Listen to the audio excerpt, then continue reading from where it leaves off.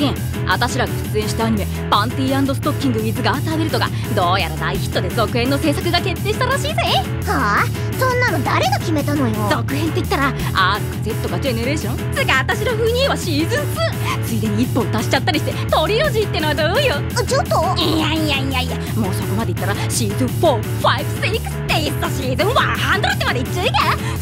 ハリウッドで映画化も夢じゃないっつうか。むしろ必然つうか。世界的なスターになるのも時間の問題。私が世界の世界が私をほっとかないってのあちょっとパンティてかてかてかよく考えてみればこの星にも収まんねえっつう話。こうなら宇宙や宇宙。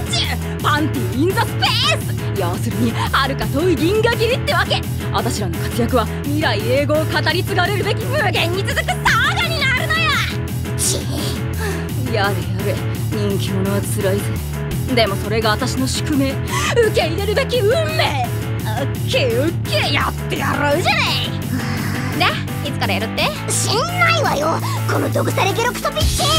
次回「パンティストッキングガーターベルト」シーズン 2! うちょちょちょちょだから決まってないって言ってんでしょうがでも実際問題